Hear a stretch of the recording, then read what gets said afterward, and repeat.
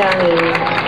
Panginoong Jesus, kulang kami sa lakas at kaalaman sa pagsupil sa katiwalaang humihiral sa aming lipunan upang pahira ng tumis sa karangalan ng sambayanan.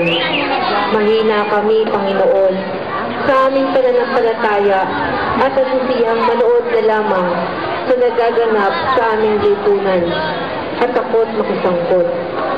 Ang yulawang habag ang magtulak sa amin upang ibangon ang dangal ng sambayanang nasadlak sa hirap at pusa. Amen.